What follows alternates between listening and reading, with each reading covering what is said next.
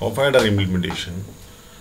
The half-adder implementation, on completion, students will be able to explain half-adder, how is added two binary numbers.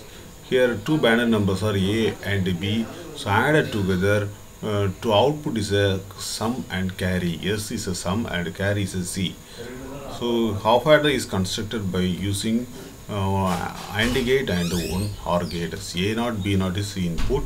Uh, S equal to A bar B plus AB bar equal to A exclusive B plus equal to C naught equal to AB. Here AND gate and uh, OR gate and NOT gate is used. It's a half adder. So another one XOR gate and AND gate is used to construct the half adder. Half adder circuit. So half adder quiz questions. Why half adder is needed in the circuit? Half adder is used to do in the circuit to add the two binary numbers.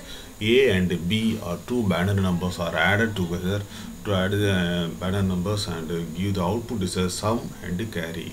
So block diagram represents the sum and carries output input is a uh, a naught and uh, b naught two numbers are added thank you very much